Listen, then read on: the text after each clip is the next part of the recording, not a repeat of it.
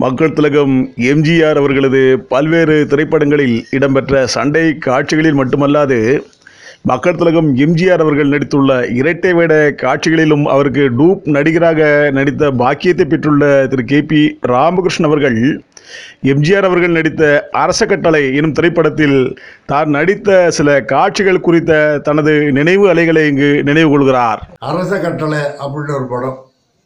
எனக்கு நல்ல வேஷம். அதில் விக்கெல்லாம் வச்சு டைலாக் எல்லாம் பேசுவேன். நம்பியாருன்னு கூட இருக்கிற வேஷம் அது. சக் அதை டைரக்டர் யாருன்னு கேட்டிங்கன்னா தலைவருடைய அண்ணன் சக்கரபாணி அண்ணன் தான் டைரக்டர் அதில் ஒரு நிறைய பேசியிருக்கேன். சரோஜாதி கூட நான் பேசுவேன். எல்லாம் நிறைய ஷாட் இருக்குது ஒரு ஷாட் வந்து ஒரு சண்டைக்கு போய் அசோகனை காப்பாற்றினாங்கெல்லாம் போயிருந்தோம். அது நடக்கலை. அது வந்து ரொம்ப வருத்தப்பட்டு இந்த அம்மாட்ட சொல்லணும். கடைசி முயற்சி பண்ண இளவரசி நடக்கலைன்னு சொல்லி அழுதுகிட்டே சொல்லுவேன். அந்த மாதிரி நல்ல வேஷம் இது அரச கட்டளை ஆபத்து அருகில் வந்து விட்டது இனி யோசிக்கவே இடமில்லை. உடனே புறப்பட வேண்டும். இளவரசி.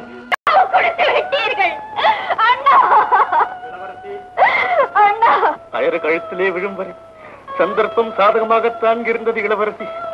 வந்திருக்க மாட்டேன் பிணமாக வர வேண்டிய குமரி மன்னனை பழி வாங்குவேன் அவன் மகுடம்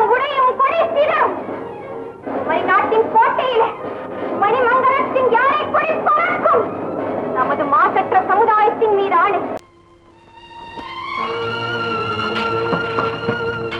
அமைச்சரே எல்லா ஏற்பாடுகளும் நடந்து விட்டன. இன்று நடுஜாமத்திற்கு மேல் நீங்களும் புறப்படலாம். போகிறேன் இளவரசி வருகிறேன் வெற்றியோடு.